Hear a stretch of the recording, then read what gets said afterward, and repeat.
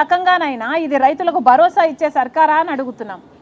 రైతులు మొత్తం రైతులు అడుగుతున్నారు. అసలు ఇంతకుముందు సర్కార్లు ఇచ్చినట్లు ఇప్పుడు ఇన్పుట్ సబ్సిడీ లేదు ఎరువుల మీద సబ్సిడీ లేదు విత్తనాల మీద సబ్సిడీ లేదు.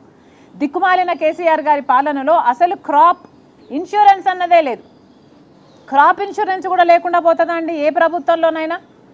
ఇంతకుముందు క్రాప్ ఇన్సూరెన్స్లు ఉండే కదా? మరి ఏమైంది? క్రాప్ ఇన్సూరెన్స్ అన్న కాన్సెప్టే లేకుండా పోయింది కదా?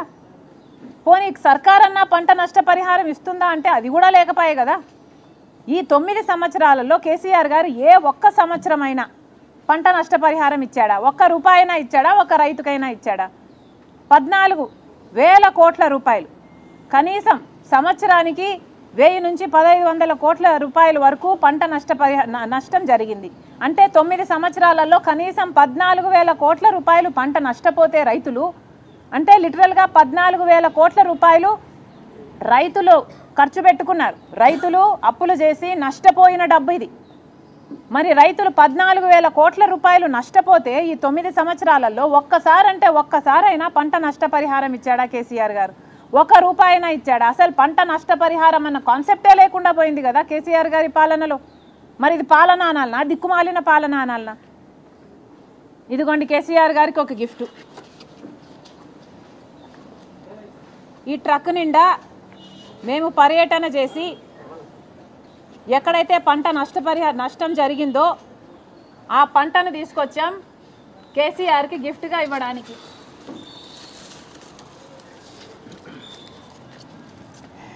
ఈ ట్రక్ అంతా కేసీఆర్కి గిఫ్ట్. ఈ ట్రక్కులో ఉన్నది పాడైపోయిన ఈ పంట కాదు. రైతుల కన్నీళ్ళు రైతుల కష్టాలు. అప్పుల పాలైపోయి రైతులు వాళ్ళ భార్య బంగారు కూడా తాకట్టు పెట్టి పుస్తలు కూడా తాకట్టు పెట్టి కష్టపడి పండిస్తే ఈరోజు దిక్కు లేకుండా పోయింది. కేసీఆర్ గారు కనీసం ఈ పర్యటన చేయరు ఒకరిని చూడరు ఒకరిని ఆదుకోరు ఒకవేళ పోయినా గాలి మాటలు చెప్పొస్తారు. కనీసం ఈరన్నా ఈ ట్రక్ అన్నా మేము ఇస్తున్నాం కేసీఆర్కి గిఫ్ట్గా ఇదైనా మీ ఆఫీస్ ముందర పెట్టుకోండి. మీరు పోని సచివాలయానికి పదహారు వందల కోట్ల రూపాయలు ఖర్చు పెట్టారు. ఈ ట్రక్ని సచివాలయం ముందు పెట్టుకోండి మీరు పోతారు అనుకుంటే.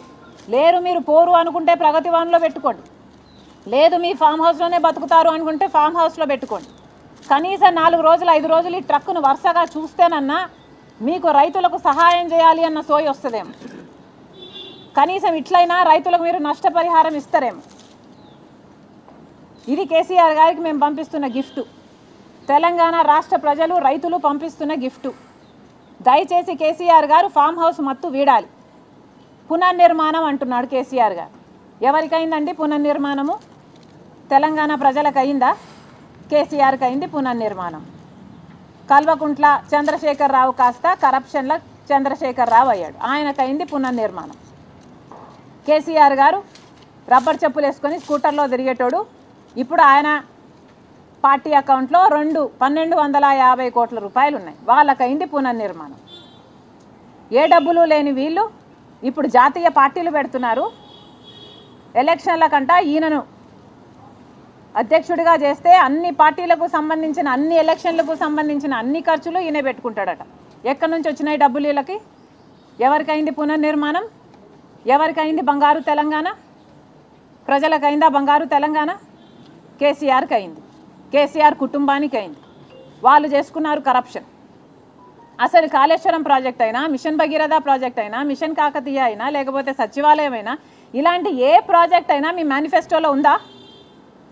మరి మేనిఫెస్టోలో లేని దానిల మీద లక్షల కోట్లు ఎందుకు ఖర్చు పెడుతున్నారు? రుణమాఫీ చేస్తామన్నది కేసీఆర్ గారు మేనిఫెస్టోలో పెట్టాడు.